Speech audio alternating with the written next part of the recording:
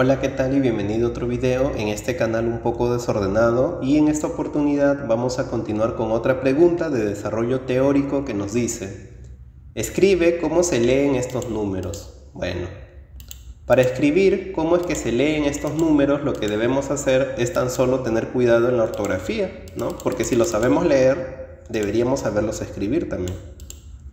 Este es 20.980. Entonces sería 20.980. Ese sería el número, ¿no? 20.980. El segundo, que ya es un poquito más grande, es 673.095.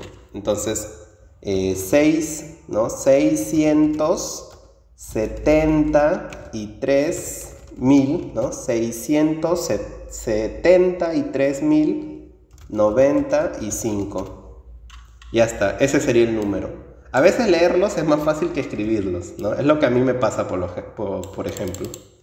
Aquí tenemos 8.210.400. Entonces escribimos 8 millones eh, 210, 210 mil 400. Bien, entonces con eso habríamos completado la pregunta. Ya hemos escrito y hemos dicho cómo se leen cada uno de estos números.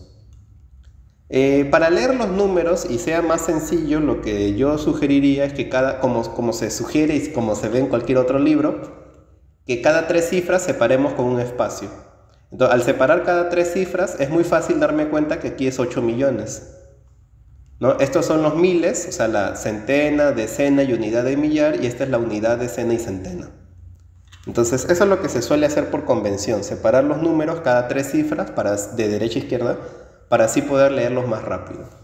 Bien, espero que la pregunta y el video se hayan entendido, que sigas visitando el canal, que sigas encontrando más videos de tu preferencia. Nos vemos en una próxima oportunidad. Chao, chao.